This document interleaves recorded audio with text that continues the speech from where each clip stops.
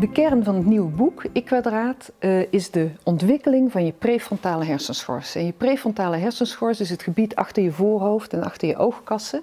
En dat gebied is ontzettend belangrijk om uh, te kunnen plannen, je aanpassen aan verandering, om te leren van feedback, maar ook om dingen als leiderschap vertonen, leven volgens bepaalde waarden en normen. Al dat soort dingen hebben te maken met die ontwikkeling van de prefrontale hersenschors.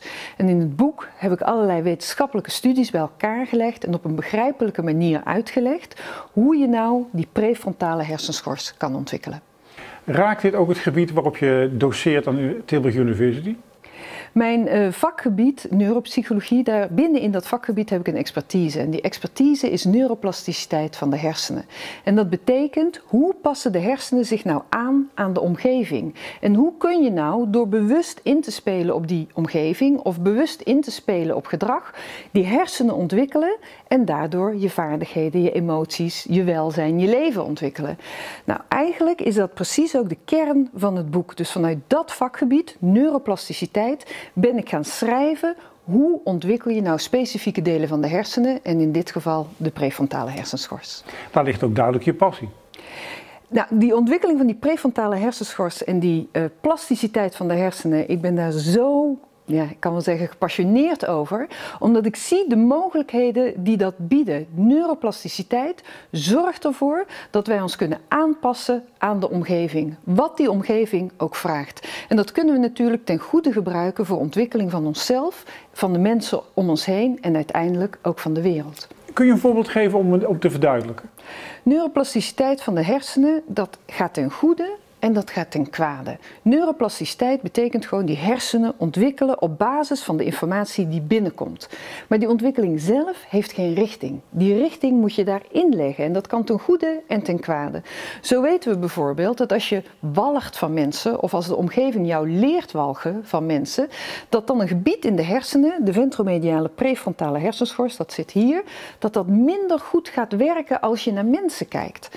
Dat is heel bijzonder iets. Dat betekent dus, als ik naar mensen kijk, dan gaat het gebied wat menselijke informatie verwerkt minder goed werken. En andere gebieden, die bijvoorbeeld te maken hebben met het verwerken van objecten, gaan harder werken. Dat betekent dat je mensen zo kan sturen, ten slechte dus, dat als je ze laat walgen van mensen, dat ze andere mensen als minder menselijk verwerken in hun hersenen. En dus ook als minder menselijk uh, kunnen behandelen. Dat is onderzoek van Harris en Fiske.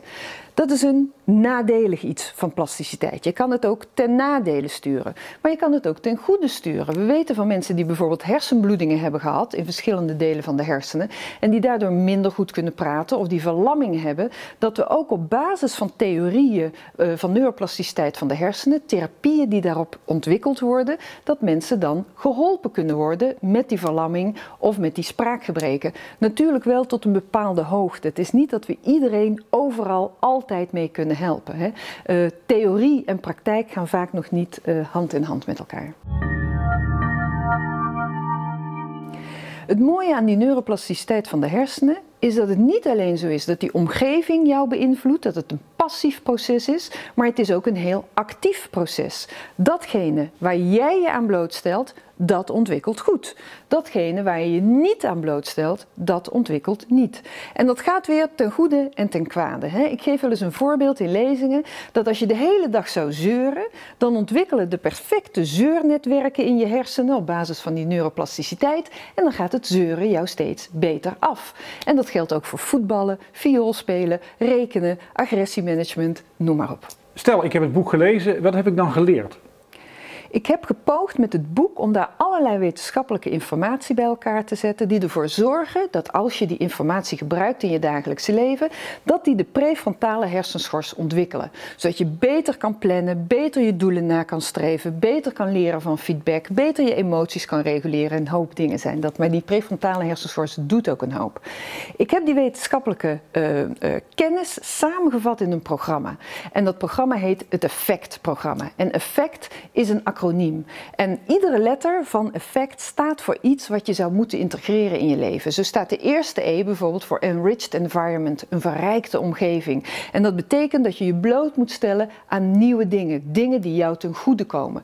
De uh, eerste F staat voor flow focus en dat staat voor aandachtstraining. Je aandacht leren richten. Want we weten, die neuroplasticiteit aan zich heeft geen richting, maar de aandacht die jij aan dingen geeft, die de richting van die neuroplasticiteit. Die bepaalt wat jij ontwikkelt aan netwerken in je hersenen. Nou, de tweede F staat voor uh, fixed sleep pattern. We weten dat slapen ongelooflijk belangrijk is. Helemaal niet meer zo populair om over te praten, want we slapen eigenlijk allemaal te weinig, want we hebben het allemaal veel te druk. Uh, maar slapen is onder andere voor plasticiteit van de hersenen heel erg belangrijk. En zo staat iedere letter voor iets wat je zou moeten integreren in je leven.